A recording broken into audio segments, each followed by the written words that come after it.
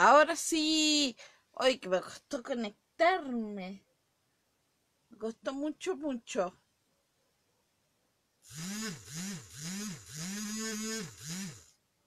Y tengo una chorrera de mensajes. Lo que pasa es que no me llegaba la. no me llegaba señal. Pero ya estamos. Así que. Ahí. Bien, Manuel se conectó. Estamos todos conectados.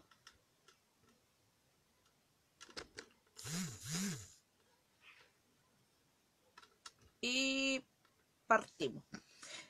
Resulta de que como yo le he estado transmitiendo desde el día lunes, este es una, un resumen, una parte de lo que fue eh, un taller que tuvimos que repetir el año pasado sobre introducción a la investigación, ¿ya? Eh, en este caso paranormal. Pero aclaro, nosotros no somos casa fantasma, ¿ya? Pero lo hicimos porque muchas veces nosotros somos invitados o nosotros solicitamos el permiso para ingresar a inmuebles patrimoniales. Hola Jorge, ¿cómo estás? Que tienen cierta carga o que de repente pasan cosas. Y siempre la gente, nosotros nos preguntan, por ejemplo, hoy van a pasar a la casa, a la casona Dubois, van a pasar a, a tal parte, hoy han ido a esta otra.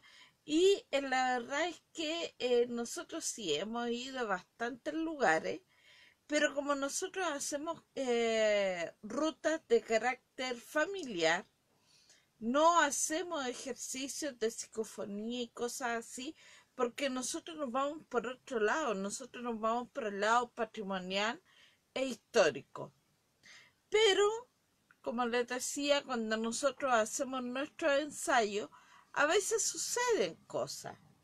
Y a veces la gente que nos acompaña va grabando ya eh, lo que nosotros hacemos y evidentemente las grabaciones que ellos hacen cuando nosotros les relatamos la historia de la casa tanto o del personaje tanto, le aparecen ruidos que a ellos les llama la atención nos preguntan de qué se trata y nosotros si encontramos de qué buen material le decimos mira eso es una psicofonía o si no le explicamos que es sonido ambiente que está confundido, etcétera, etcétera.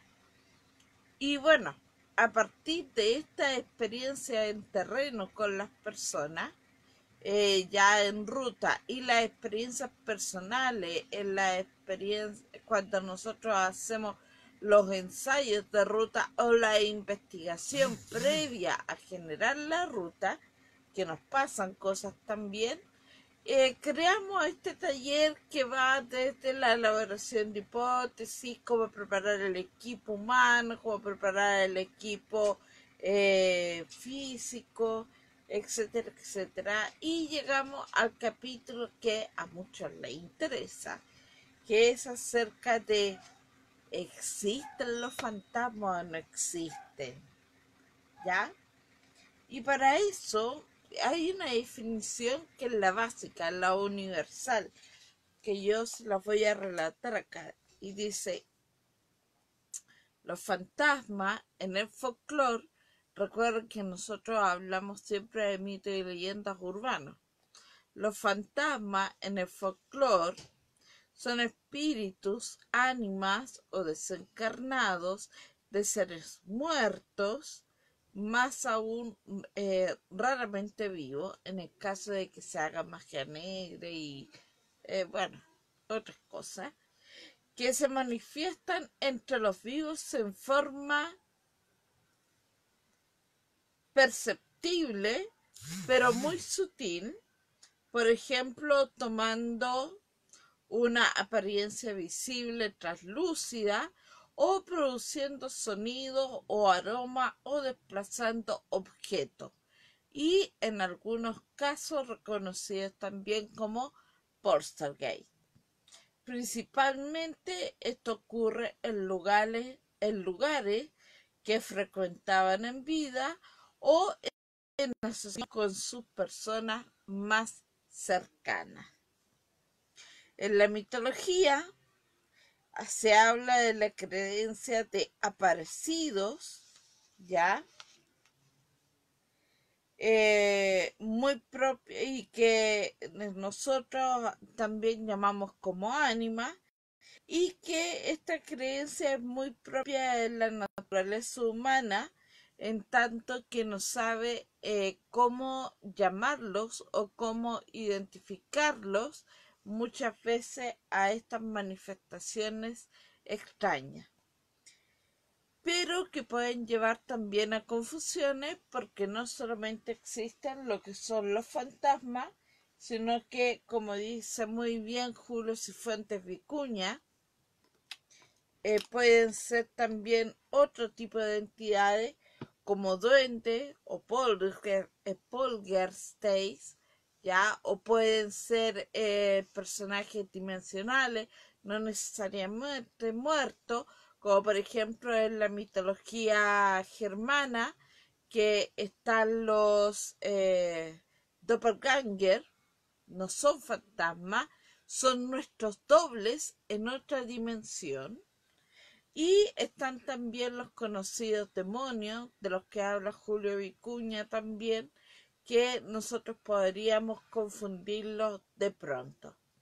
El día de ayer y antes de ayer, antes de ayer estuvimos justamente hablando de la psicofonía, cuando captamos sus voces y advertíamos de que debemos ser muy cuidadosos eh, de asegurarnos de que las voces que estamos escuchando sean de espíritus y no sean de entes intrusos o demonios. En demonología yo no me voy a meter porque eso no es campo de nosotros. Nosotros nos vamos más por el lado folclórico, por eso hablo de fantasmas y ánimas. Y por otro lado está el tema de eh, los, em, eh, los burlescos, que no son ni demonios ni fantasmas, sino que son energías que han quedado ahí en un eh, plano intermedio y tratan de usurpar identidades para poder seguir alimentándose de energía y seguir sobreviviendo en este plano intermedio. De ahí ayer estuvimos hablando a propósito del el uso de cámaras de video y el uso de las cámaras fotográficas como herramienta ya eh, para poder captar eh, situaciones herramienta testimonial visual o audiovisual en el caso de la cámara de video que uno de repente se topa con una fotografía donde sale algo extraño. Y que por lo general nosotros decimos es un fantasma le explicamos también de que esto se puede prestar como para fraude. Y eso ya venía desde los inicios de la fotografía con el daguerrotipo, en donde la persona tenía que permanecer quieta tantos minutos antes de que el fotógrafo te dijera estamos listos. Pero ¿qué pasa? A más sutil movimiento quedaba una huella y esa huella muchas veces es interpretada como un posible fantasma que también quería salir en la fotografía. Y nunca había sido tal, pero eh, después eh, se fueron haciendo otros registros un poco más limpios, con mejor tecnología y se descubrió que en el fondo sí es posible fotografiar fantasmas de pronto y ahí empieza toda una nueva eh, visión. Dice, la tabla Ouija se mucho las armas burlescas. Claro, Lo que pasa es que la tabla Ouija es la apertura de un portal, ¿ya? Y al abrirse un portal se abre a múltiples dimensiones que deja eh, la, la, la invitación hecha a que polulen diversas entidades y no necesariamente el espíritu al cual se está convocando. Por eso que yo también decía, cuando hablamos de las psicofonías que se usan tanto eh, actualmente, que eh, tengan cuidado porque las psicofonías son primas hermanas de la Ouija, por lo tanto también pueden generar un em, efecto más o menos similar si uno no las sabe usar bien. Aquí vamos a ver una fotografía, por supuesto.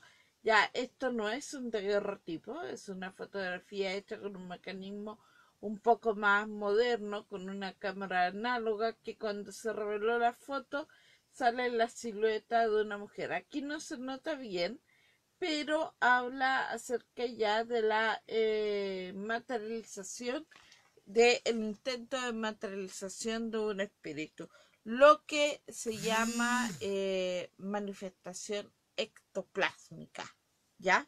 Y que puede llegar a ser tan eh, concreta, me refiero a concreta, eh, que deja la, o sea, a ver, ¿cómo me explico? Por lo general, el fantasma que estamos acostumbrados nosotros a ver, a reconocer, es esta figura translúcida. Pero a veces esta figura deja de ser tan translúcida, es más opaca y podemos definirla mejor en sus facciones como lo que ocurre con el fenómeno del fantasma de Katy King, que también está ahí al lado, y que algunos han, han hablado de ella como una especie de fraude también, o sea, no especie, sino que hablan directamente de un fraude, pero también hay aquellos que hablan de esto como una eh, realidad concreta. Lo cierto es que eh, suceda lo que suceda, lo veamos como lo veamos, hay casas en donde se han experimentado situaciones extrañas y sobre esas situaciones extrañas es de las que queremos hablarle a ustedes el día de hoy. Para eso tenemos que tener muy en claro, a propósito, tengo este libro ya en mis manos, que se llama, bueno, es de una enciclopedia, una enciclopedia de origen español, y habla este tomo justamente de fantasma, la huella de los otros mundos. Y les recomiendo una película también de Nicole Kidman que se llama Los Otros. Les voy a recomendar también eh, dos libros acerca de eh, la, del espiritismo en Chile. Voy a ir a buscarlo, se los los saco, tengo la biblioteca acá al lado, así que esta es mi, mi unidad de trabajo, pero un poco.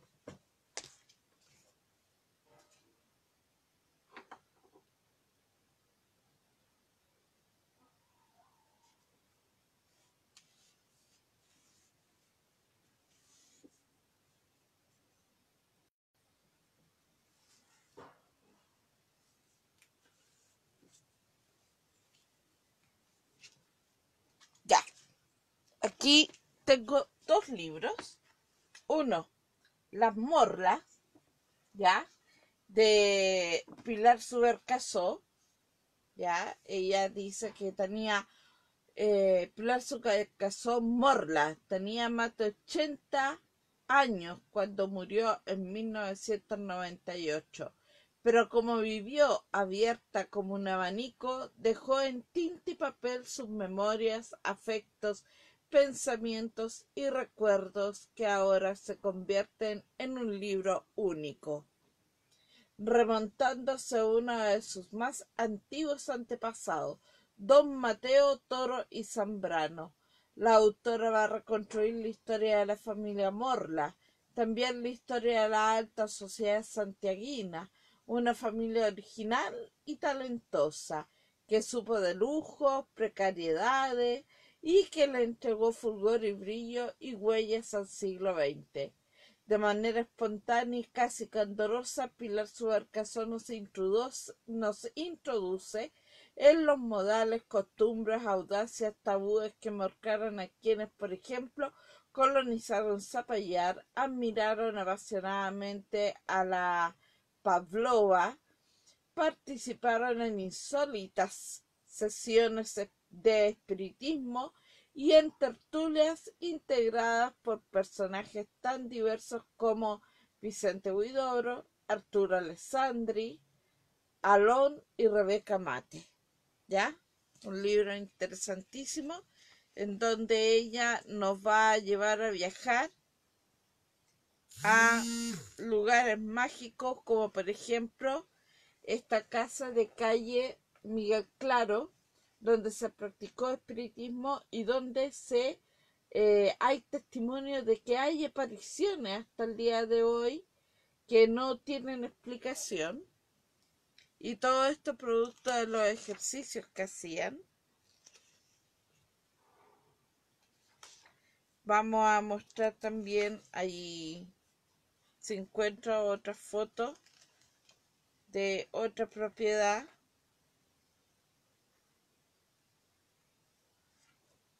a ver si puedo dar con ella eh, bueno en todo caso en el libro van mencionando varias varias casas por eso que yo les recomiendo el libro porque un libro no es una novela es un libro biográfico de una familia y bueno hay otro libro que yo se los voy a presentar que es este. Ahí está. La historia privada en Chile. Y este segundo tomo es un libro que no me costó muy caro. Eh, me costó 15 mil pesos, algo así. ¿Ya? Y bueno, ahí yo como estudio, pues, se me quedan las notas pegadas, pero ahí está de cuando se hacían las sesiones espiritistas. Bueno, es una gráfica bastante eh, burlesca, un, montaje para, para eh, lo que la presentación del capítulo. Pero también aquí van hablando, ahí hay una sesión, ¿ya? que se hizo. Hay personajes, los personajes que eran los eh, eh, practicaban todo esto aquí en Chile. Hay los dibujos, cómo se componían las mesas.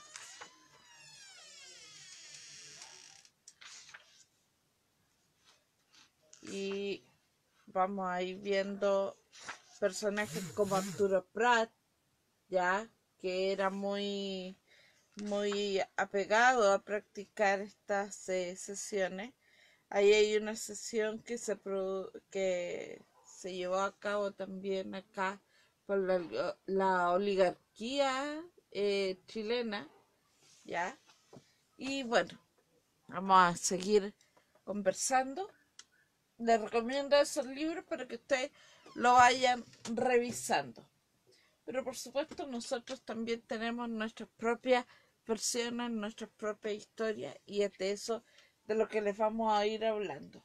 Pero como les decía, vamos a ir despejando, para poder entender los fantasmas tenemos que entender cuáles son los tipos de fantasmas dentro del folclore que nos podemos topar. Ayer algo habíamos adelantado y existen varias eh, clasificaciones. Dentro de lo mitológicamente hablando, vamos a encontrar los abstractos, ¿ya? Que son más bien eh, alegóricos, ¿ya? Eh, todo esto cuando uno lo va viendo en los escritos.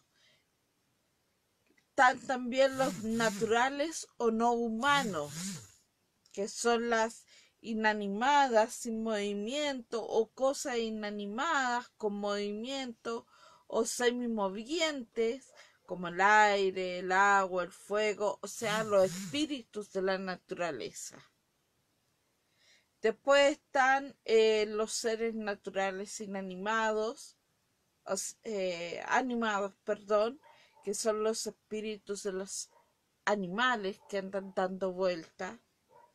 Después están los antropomórficos y por último están los fantasmas humanos, humanos total, los desencarnados, como les llaman. De ahí nosotros nos vamos a saltar eh, directamente a lo que es una clasificación un poco más cercana a nuestra realidad, ¿ya? Y hay un personaje que es de apellido eh, eh, Tyrrell, ya que es el autor de un clásico, eh, libro de 1943 que, que se llama Apparition, apariciones en español, no tengo muy buen inglés, pero ustedes me entienden. Y ahí él hace una clasificación de cuatro tipos de fantasmas. Y esto ya alejado del mito, más cercano a lo que es eh, la leyenda y también el espiritismo, entre la leyenda y lo espiritual. Y ahí nos vamos a encontrar con las apariciones que frecuentan habitualmente un lugar determinado generalmente no suscitan miedo, son inofensivos y a veces llegan a ser tratados como un miembro más de la familia. Esto es lo que sucede, por ejemplo, en la en una casa que está en Camin, en calle Camin. Y este es un relato que me contó mi papá a mí y que nosotros verificamos, hola Solrío, que verificamos con eh, don Enrique Corales, eh, quien vive muy cerca de Camin, en la calle eh, Guardamarina Riquelme. Resulta de que en Camin, en la casa que es actualmente pertenencia del Bafona, Llega mi papá a vivir ahí cuando tenía unos 12 años. Era la primera vez que llegaba a Santiago. ¿Ya? Él impresionadísimo con la ciudad de Santiago. Era algo totalmente distinto a lo que él estaba acostumbrado a ver.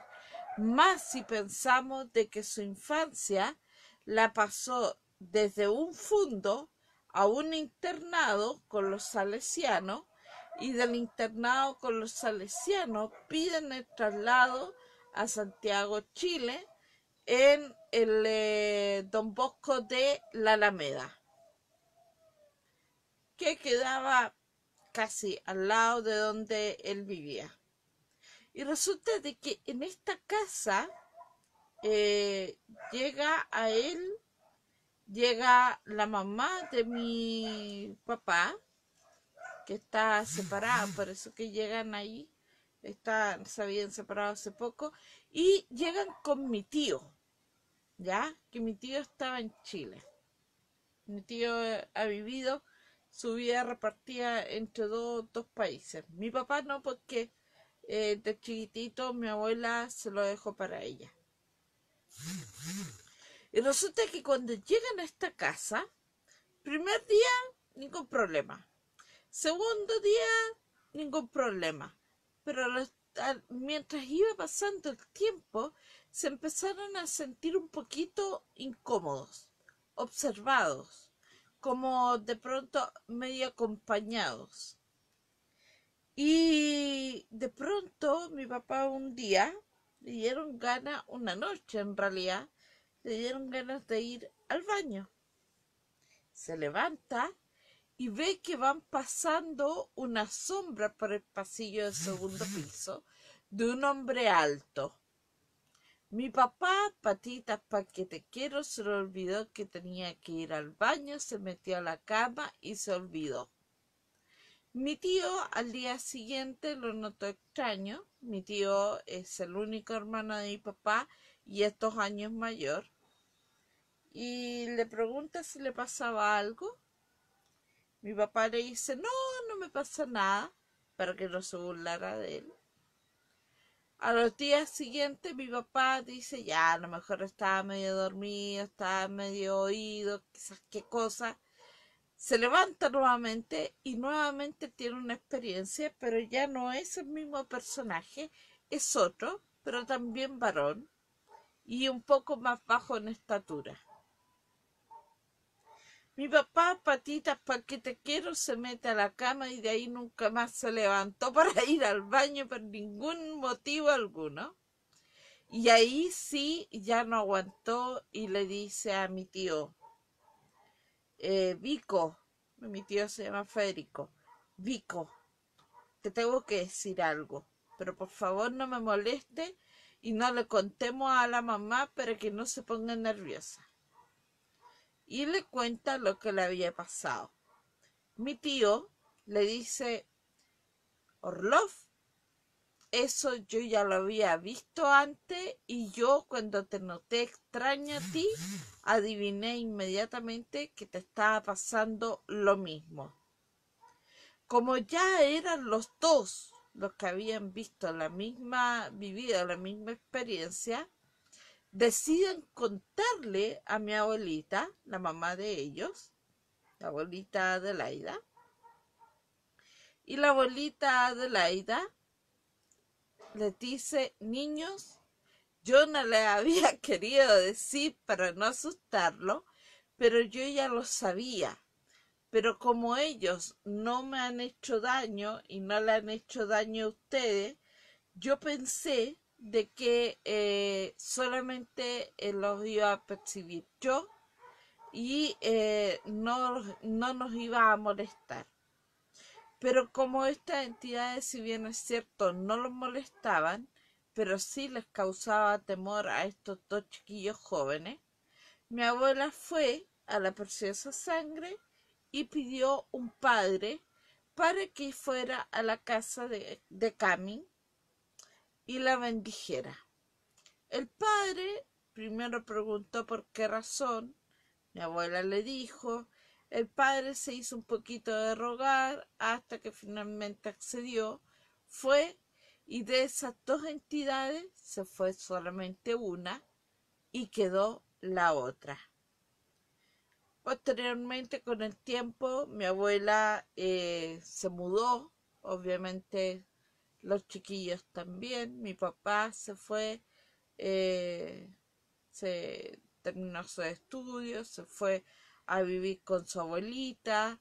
Mi, mi abuela, la mamá de mi papá, eh, fue a trabajar al Internado Nacional Femenino, que en esa época se estaba instalando en Pedro de Valdivia, frente al Estadio Nacional. Eh, está buena la historia, gracias Jorge. Y mi tío eh, se fue a el Internado Nacional Barcelona y después estuvo dándose vuelta a Chile, Alemania, Alemania, Chile y bueno, de alguna forma ahí completó su estudio entre ir y venir. El tema es que mi papá con el tiempo, hace unos 20, 25 años atrás, recordando sus antiguos barrios, vuelve vuelve a lo que fue la casa que los recibió aquí en Santiago en aquellos años cuando él tenía unos doce, ya. Pide permiso porque se dio cuenta que ya no era casa, era el Bafona. Le dieron permiso en ese momento a la secretaria, le dice que necesita. No, le dice, papá, vengo a ver la casa porque yo me crié aquí hace unos años atrás y le cuenta, pero sin mencionarle el episodio paranormal.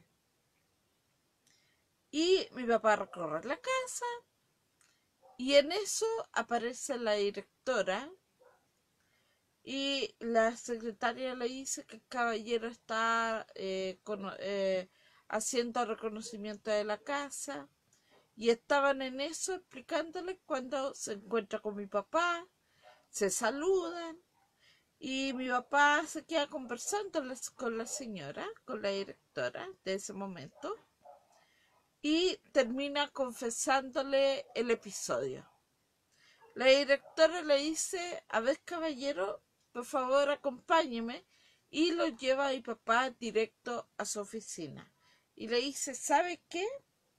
Hace mucho tiempo que no venía alguien a contarnos algo así, porque ya habíamos tenido la visita de otras personas que en un momento arrendaron esta casa y les pasó algo similar. Pero yo quiero sumarle algo más. Nosotros acá hacemos clases a niños o tenemos la visita de colegios de niños y eh, ha sucedido que nos hemos encontrado con un nuevo eh, compañero espectral. Y es un niño más que se confunde entre los que llegan y le contó una experiencia muy marcada de, la, de una de las primeras veces en que esta manifestación se presenta. Llega un colegio, un curso, perdón, un curso de visita eh, a, ver eh, una presentación que le iban a hacer en una de las salas y un taller que les iban a hacer también. Y resulta de que en esto, pongámosle un número, eran 20 alumnos, pero en la fila iban 21 niños. Y resulta de que eh, cuando la profesora, eh, la persona que está a cargo le dice, espere, en la sala falta un niño. Y ella le dice, no, si tenía, yo vine con 20, hay 20 niños en la sala. No, le dice, si al final de la fila venía otro niño más. Y empiezan a buscar, empiezan a revisar la lista y ese niño no existía en la lista de la profesora, pero sí él, la persona encargada en ese momento de recibir a los alumnos lo vio. Y ese evento se repitió en otra ocasión con otro curso y se repitió en otra ocasión con otro curso y ahí se dieron cuenta de que ya no tenían el fantasma de un caballero que se paseaba en el segundo piso, sino que también tenían la presencia de un infante que le gustaba sumarse a estos cursos de niños y que se perdía en alguna parte entre la escalera y el hall de distribución. Ahí tenemos el caso que corresponde a esta primera clasificación, que es la de apariciones que frecuentan habitualmente un lugar determinado y que no suscitan miedo, son más bien inofensivos y a veces llegan a ser tratados como miembros, un miembro más de la familia tanto así que a este niño hasta le pusieron nombre y es un habitual dentro de los chiquillos del Bafona. Ellos llegan, de hecho, los que han tenido la oportunidad de verlo, y lo llaman y lo saludan por su nombre, por el nombre con que ellos los bautizaron. Otra clasificación, la de apariciones ¿Cuáles son estas? son de aquellas que suelen tener lugar muy poco tiempo después de la muerte de una persona eh, reaparecida, no acostumbran a estar relacionadas con un lugar o acontecimiento concreto y parecen como está eh, eh, como un ser que se quiere despedir o que todavía no entiende qué le pasó y que entra dentro de la categoría de las animitas, ¿ya? Entonces ahí tenemos. Gracias, Jorge. Si tienen alguna historia, ustedes me lo van relatando para ir ejemplificando, porque es la mejor forma de ir aprendiendo. Eh, bueno, las post-mortem son las que suceden inmediatamente después de generalmente un accidente. ¿Ya? Eh, hay un caso que pasa mucho por eh, las redes sociales, hay un video, que hay un accidente automovilístico y se ve cómo eh, está la persona acostada, pero se levanta el espíritu que va mirando muy desorientado lo que está pasando, está todo el momento hasta que llega la ambulancia, recoge la, al, a la persona fallecida y se la lleva y el fantasma queda ahí hasta que se va desvaneciendo y según lo que decían algunos comentarios del video, esa entidad siguió apareciendo por un tiempo más hasta que dejó de aparecer, ¿ya? O sucede a veces que muere el abuelito en la casa, el abuelito se fallece, se van. Hola Patricia Jiménez. Eh, no te preocupes Patricia, que ayer yo también estuve sin internet, así que eh, ese capítulo no se hizo y es lo que estamos haciendo hoy día. Así que no te has perdido nada. Y bueno, ese eh, ese tipo de fantasma es el que entraría en este caso. Mira, Manuel está recibiendo los testimonios en eh, un grupo que ahí Manuel si lo escribe, le pone ahí el link, eh, se llama Rincón Paranormal 1 pero que nosotros no tratamos con el morro, siempre lo tratamos con mucho respeto dentro de lo que son los mitos y leyendas urbanos. Así lo tratamos nosotros, ¿ya? Dentro de lo folclórico. Y ahí pueden dejar ustedes su, su testimonio para que Manuel lo vaya eh, guardando y si ustedes nos dan permiso publicarlo después. Bueno, eh, hay otro tipo de apariciones, que son los casos críticos. Dice, ah, ya, bueno, pensé que era uno nuevo. Dice, apariciones en casos críticos. El aparecido es alguien que está viviendo una experiencia importante, a menudo desconocida por el testigo de la aparición como un accidente, una enfermedad o por supuesto la muerte y se muestra ante una persona o personas simultáneamente esa experiencia y no después de la misma. ¿Ya? Eh, eso es un poquito más engorrosa, ya de, de, explicar. No sabría cómo ejemplificarla, pero eh, son en casos en casos muy críticos. Se imagina a mí que son de